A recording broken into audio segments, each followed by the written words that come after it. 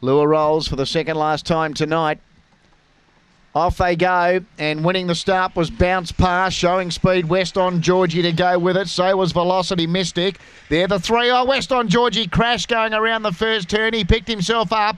But Bounce Pass led from Velocity Mystic and getting up underneath them. Gustavo Fring finds the lead now.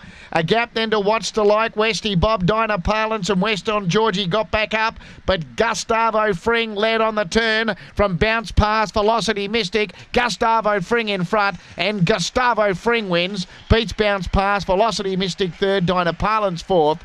Then Westy Bob. Behind it, the last two in were Watch to Like and West on Georgie, which crashed on the first turn but thankfully got up and chased them into the pen. Have a go at this. Gustavo Fring.